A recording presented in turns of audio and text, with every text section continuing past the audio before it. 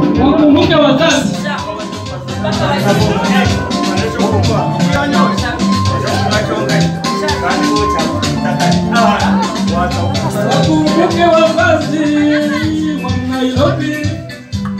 wakumbuke wazazi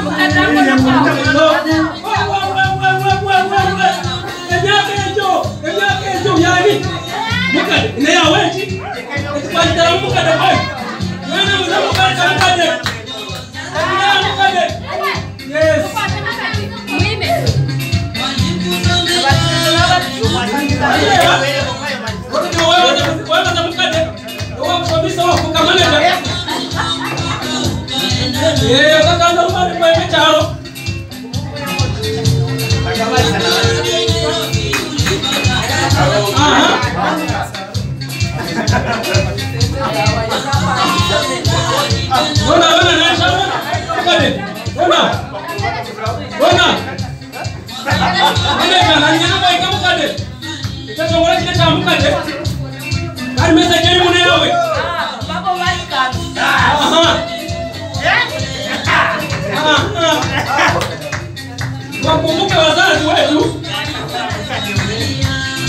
Uh-huh.